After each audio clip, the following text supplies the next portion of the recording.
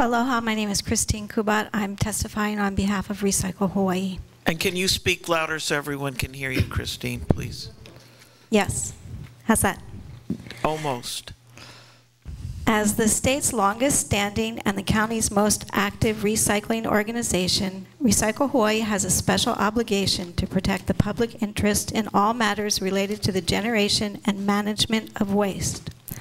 On behalf of the citizens who will be impacted by the outcome of Mayor Kenoi's waste reduction facility solicitation for decades to come, we applaud Councillor Wille for her willingness to bring forth this resolution, and we encourage all councillors to vote in support of it.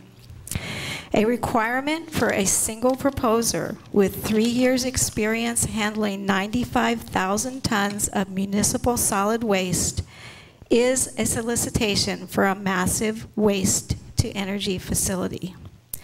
We agree with claims made by Bobby Jean Leithead Todd and Mayor Kenoi that the language of the RFP was broad.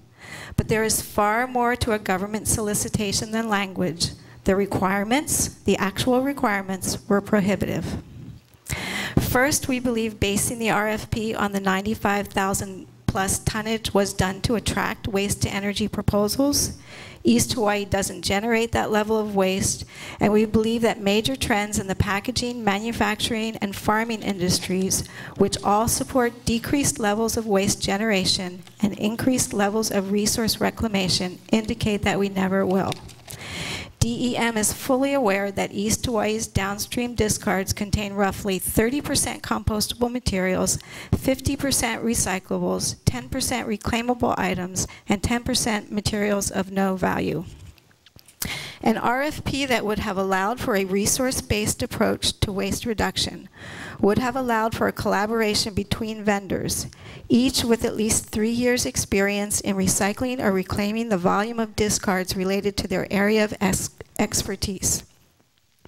This means a vendor experienced at 30,000 tons of compostables per year could have collaborated with a vendor experienced in handling 50,000 tons of recyclables per year and a vendor experienced in handling 12,000 tons of reusable items per year to reduce waste in a manner that would have maximized benefits to the environment and the local economy.